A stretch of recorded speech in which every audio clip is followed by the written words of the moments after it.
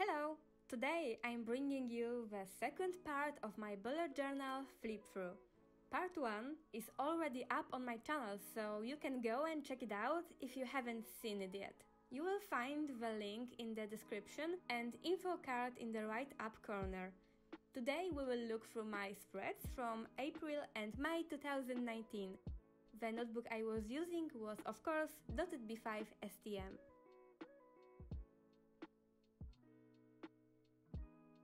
So here we have April cover page. It was inspired by Nom Nom from We Bare Bears cartoon and koala emoji icon. To make it more interesting, I decided to add some sunflowers and light green leaves. Next, there is my calendar. At this point, I wasn't sure what I want this theme to look like. As you can notice, even my design of koala changed three times in first few pages.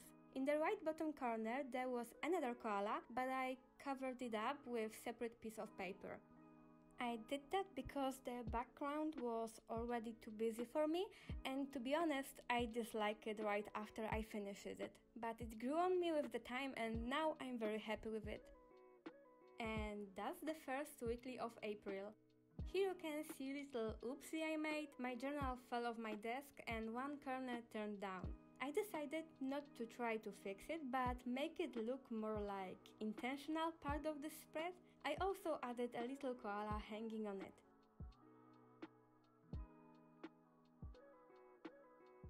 Here we have one of many tutorials in which I was including 4 different results made with different media.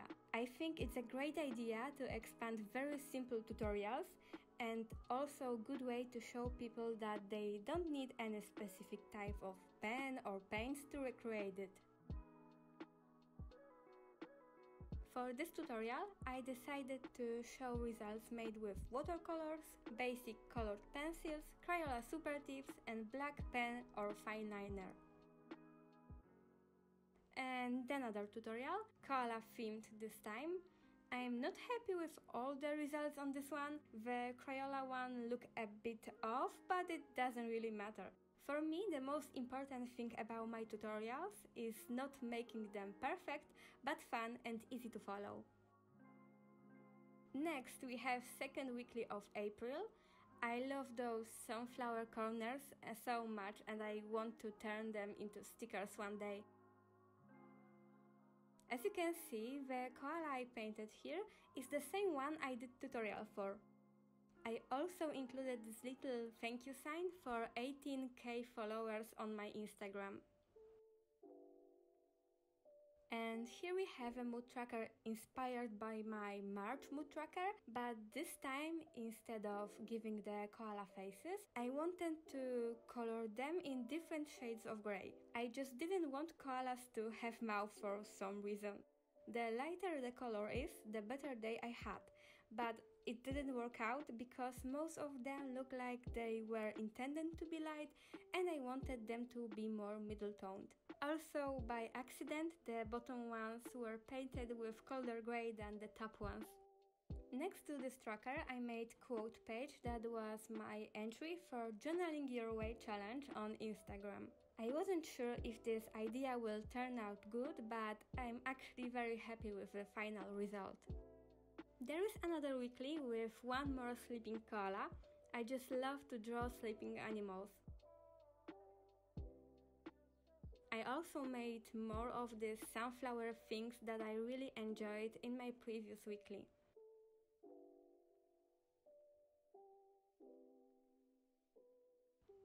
And one more weekly. My idea for this spread was to turn the flowers into some kind of balloons, but it didn't work too well because the koalas look like there is no gravity. But I think it was a good idea anyway.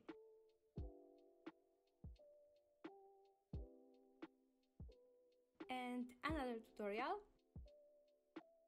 is the second of three-part mini-series of We Bare Bears tutorial. The first one were placed in my previous theme. Here you can see I made 4 different results again. I think this pen only one is a bit creepy because I made his eyes white like it was a ghost.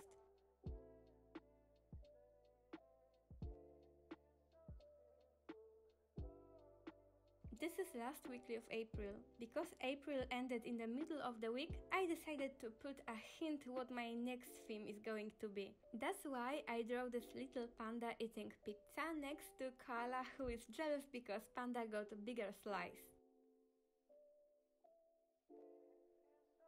I have no idea why is the koala ears partly covered in black, but it's okay.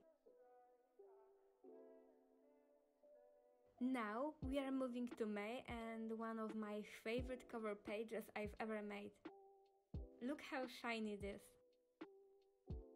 For May I decided to use this beautiful deep green from White Nights with black for pandas and gold for flowers and headlines. Here we have a calendar, no big changes here. It's a little bit less busy than my previous one. I really like it because of this green. I've never seen more beautiful paint before. Here I made some charts to keep track on my exams and books I checked out from library to write a paper. That's kinda ironic because it was the first time I made spread like this and it was also the first time I had so little exams.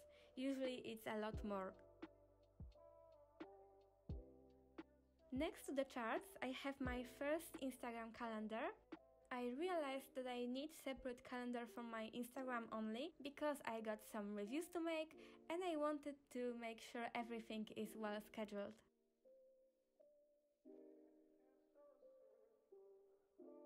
Here is mood tracker.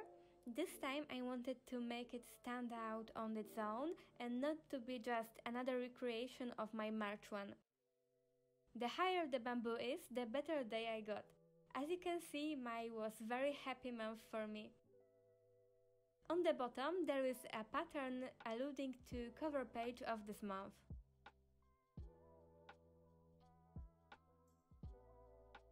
This is the weekly that at the time I was recording I thought that uh, it is the last one, but it's clearly not because it's the first one.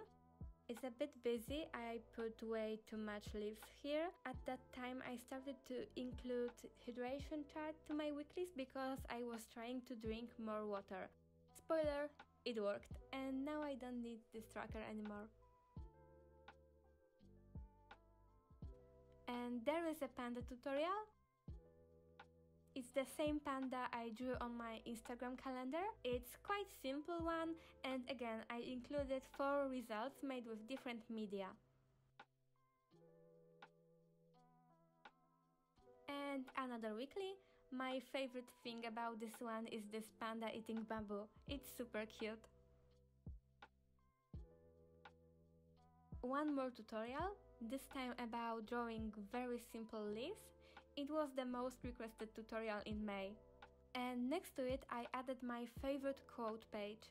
Just like many other people, I have huge problems with trying to make everything perfect. Sometimes I can't stand even very little imperfection and it's very bad for my mental health. I have to keep telling myself that it all isn't about making everything perfect, but about making progress that makes things better. And here we have another weekly. I wasn't joking about drawing sleeping animals. I really like to draw them in my journal. Next, a tutorial for panda eating bamboo from this spread. I even made a little close-up to bamboo because I thought that there is no point to make tutorial for bamboos only. And the last weekly, actual last weekly, Nothing very interesting about this one besides this very cute scene of little pandas waking up a big panda.